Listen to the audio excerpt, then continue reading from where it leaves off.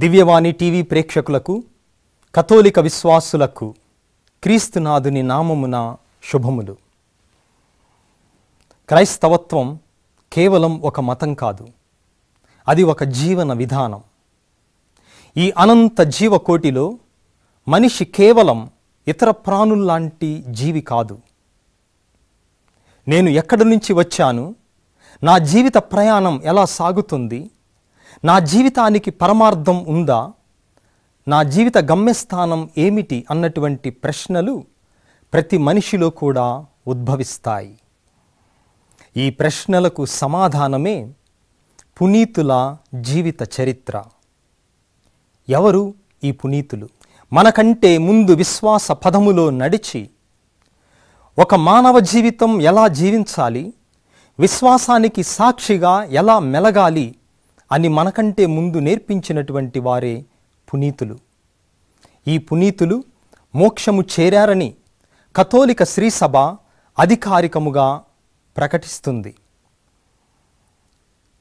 మనం కూడా ఈ పునీతుల జీవిత ఆదర్శాన్ని చూచి వారి జీవిత ముఖ్య సన్నివేశాలను తెలుసుకొని ప్రేరణ పొందుదాం. వారి మాటలు మనకు ప్రేరణ కావాలి.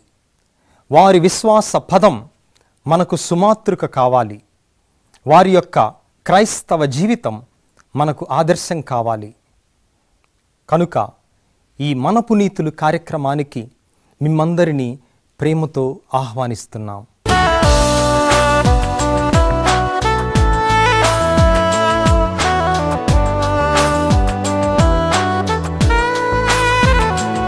క్రీస్తునాథుని యందు ప్రియమైన సహోదరి సహోదరులారా కథోలిక విశ్వాసులారా మీ అందరికీ ప్రభు క్రీస్తునామమున శుభోదయం. ఈరోజు జులై నెల ఎనిమిదవ తేదీ. మన ప్రియతమ తల్లి అయినటువంటి శ్రీ సభతో మనందరం సంతోషిస్తూ ఏకీభవిస్తూ భార్యాభర్తలు దంపతులు అయినటువంటి పునీతులు ప్రిసిల్లా మరియు అక్విలా గారి పండుగను ఈరోజు కొనియాడుతూ ఉన్నాము. నూతన నిబంధనలోని అపోస్తుల కార్యములలో మరియు ఇతర లేఖలలో ఈ దంపతుల గురించి మనం వింటూ ఉంటాము. ఒక రకంగా చెప్పాలంటే నూతన నిబంధనలో మొట్టమొదటి స్త్రీ బోధకురాలుగా ప్రిసిల్లా గారు చరిత్రకెక్కారు అని చెప్పవచ్చు. ఈ దంపతులిరువురు తమ యొక్క సర్వస్వాన్ని తమ ప్రాణాలను కూడా సువార్త వ్యాప్తి కోసం ధారపోసి ప్రతి దంపతులకు ఆదర్శనీయులుగా నిలిచి ఉన్నారు. వీరి యొక్క జీవిత విశేషాలను ఇప్పుడు మన పునీతులు కార్యక్రమంలో తెలుసుకుందాం. ఈనాడు విశ్వశ్రీ సభ మొదటి శతాబ్దంలో తొలినాటి క్రైస్తవ సంఘంలో అపోస్తులుడైన పౌలుతో కలిసి సువార్త ప్రచారంలో పాల్గొన్న పునీతులు ప్రిసిల్లా అక్విలా దంపతుల పండుగను కొనియాడుతోంది.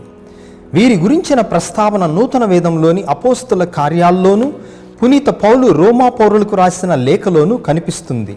పారంపర్య కథనాల ప్రకారముగా బహుశా వీరు డెబ్భై మంది శిష్యులలో ఒకరై ఉండవచ్చనే భావన ప్రచారంలో ఉంది. ఈ పుణ్య దంపతులు అపోస్తులు పౌలుతో కలిసి జీవిస్తూ వారి ప్రయాణాల్లో వారిని అనుసరిస్తూ సువార్త ప్రచార సేవల్లో పాలుపంచుకున్నారని వీరిని తన తోటి క్రీస్తు అనుచరులుగా పునీత పౌలు రోమా పౌరులకు రాసిన లేఖలో పేర్కొన్నారని చారిత్రక కథనం. ఏదేమైనప్పటికీ తొలినాటి క్రైస్తవ సంఘాన్ని బలపరచటంలో వీరు నిర్విరామ సేవలు అందించారన్నది మాత్రం నిర్వివాదాంశం. వీరి గురించి నూతన వేదంలోని నాలుగు గ్రంథాల్లో ఆరు చోట్ల పేర్కొనబడింది. వీరిని వ్యక్తిగతంగా కాక దంపతులుగానే పేర్కొనటం జరిగింది. నిజదేవుని గురించి తొలినాటి గొప్ప సువార్థికుడైన అపోల్లోకు బోధించి వివరించటంలో వీరిరువురు ప్రముఖ పాత్ర పోషించినట్లు తెలుస్తోంది. వీరి సేవలు మరువలేనివని వీరి రుణం తీర్చుకోలేనిదని పునీత పౌలు పలు సందర్భాల్లో పేర్కొన్నారు. ప్రిసిల్లా అక్విలలు భార్యాభర్తలు యోధా జాతీయులు రోము నగరంలో నివసించేవారు గుడారాలను కుట్టటం వారి వృత్తి స్త్రీలకు స్వతంత్ర పతిప్రత్తి గుర్తింపు లేని ఆ రోజుల్లోనే పునీత పౌలు గారు ప్రిసిల్లను గొప్ప సువార్తా బోధకురాలిగా పేర్కొన్నారు. ఒక విధముగా చెప్పాలంటే క్రైస్తవ చరిత్రలో మొట్టమొదటి మహిళా బోధకురాలుగా గుర్తింపు పొందిన వ్యక్తి ప్రిసిల్ల ఒక్కరే. దీనిని బట్టి తొలినాటి క్రైస్తవ సంఘంలో మహిళలకు కూడా సమాన గౌరవం హోదా లభించిందని తెలుస్తోంది. ఆమె తన భర్త అక్విలతో కలిసి వేద ప్రచారంలో పాల్గొంది. నూతన వేదంలో ప్రిసిల్ల పేరుతో పేర్కొనబడిన స్త్రీ వీరు ఒక్కరే. ఆమె పేరును ప్రస్తావించినప్పుడెల్లా ఆమె భర్త అక్విలా పేరుతో కలిపి ప్రస్తావించటం జరిగింది. ప్రిసిల్ల స్వయంగా స్వేచ్ఛగా వేద ప్రచారంలో పాల్గొన్నప్పటికీ ఆనాటి ఆచార సాంప్రదాయాల ప్రకారం వివాదాస్పదం కాకుండా ఉండాలనే ఉద్దేశముతోనే ఆమె పేరును ఆమె భర్త అక్విలతో కలిసి పేర్కొనటం జరిగిందని చరిత్రకారుల అభిప్రాయం. క్రీస్తు శకం నలభై తొమ్మిదిలో రోమన్ చక్రవర్తి క్లాడియస్ యూదులందరినీ రోము నగరం నుండి బహిష్కరించినప్పుడు అక్విలా ప్రిసిల్లలు రోము నుండి కొరింతి నగరానికి వెళ్ళారు. తాను యూదుడైనందున పౌలు కూడా వారి వెంట వెళ్ళి వారితో పాటు సుమారు పద్దెనిమిది నెలలు గడిపారని వారితో పాటు గుడారాలు కుట్టి జీవించారు. ఆ తర్వాత పౌలు తన తొలి వేద ప్రచార యాత్రగా సిరియాకు బయలుదేరినప్పుడు అక్విల్లా ప్రిసిల్లా దంపతులు కూడా పౌలును అనుసరించారు. అలెగ్జాండ్రియా నుండి క్రీస్తు విశ్వాసిగా మారిన యూదుడు అపోల్లోకు క్రీస్తు గురించిన సత్యాలను వీరే బోధించారని అంతవరకు బప్తిస్మ యోహాను బప్తిస్మం గురించి మాత్రమే తెలిసిన అపోల్లోకు వీరు క్రీస్తు బప్తిస్మం గురించి బోధించారని విశ్వాసిగా మార్చారని తెలుస్తోంది. క్లాడియస్ చక్రవర్తి మరణానంతరం క్రీస్తు శకం యాభై నాలుగులో పౌలు గారు తిరిగి రోముకు వెళుతున్నప్పుడు ఎఫేసు నగరములో ఉన్న వీరిని కూడా తమ వెంట పెట్టుకొని వెళ్ళారు. పౌలు గారు వీరిని తన తోటి ప్రచారకులుగా తాను రాసిన లేఖల్లో పేర్కొన్నారు. ఆ తరువాత వీరు ఎఫెసుకు తిరిగి వచ్చి క్రైస్తవ పరిచర్య బాధ్యతలు స్వీకరించారు. వీరు ఎన్నోసార్లు తమ ప్రాణాలకు తెగించి తనను కాపాడారని పునీత పౌలు పేర్కొన్నారు.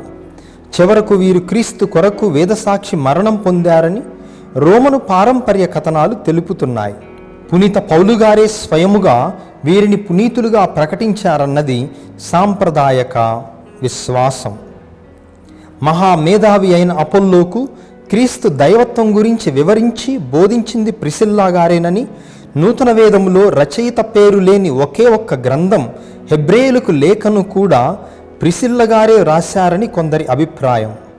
మహిళలు బోధకులుగా తగరు అనే వాదనకు విరుగుడుగా పునీత ప్రిసిల్లా గారి బోధనా పరిచర్యను ఎత్తి చూపవచ్చు.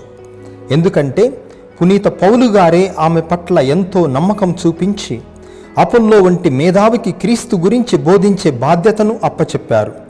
అందుకే పునీత పౌలు గారు స్త్రీ పురుషుల్లో ఎవరు ఎవరికంటే ఎక్కువ కాదు తక్కువ కాదు ఇద్దరూ సరిసమానులేనని పేర్కొన్నారు. ఏదేమైనప్పటికీ దాంపత్య జీవితంలో ఉంటూ కూడా సువార్థీకులు పరిపూర్ణ సేవలు అందించవచ్చు అనే వాస్తవానికి పునీతులు ప్రిసిల్లా అక్విలాగార జీవితాలు అద్దం పడుతున్నాయి.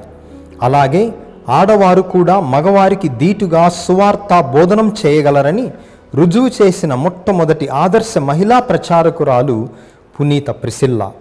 ఈ పుణ్య దంపతులను స్మరించుకుంటున్న ఈ రోజున క్రైస్తవ దంపతులందరూ వారి జీవితాన్ని ఆదర్శముగా తీసుకొని సువార్త సేవలో తమ వంతు కర్తవ్యాన్ని బాధ్యతగా స్వీకరించగలగాలని ఆకాంక్షిస్తూ ఈ పుణ్య దంపతుల మధ్యవర్తిత్వ దీవెనలకై ప్రార్థిద్దాం.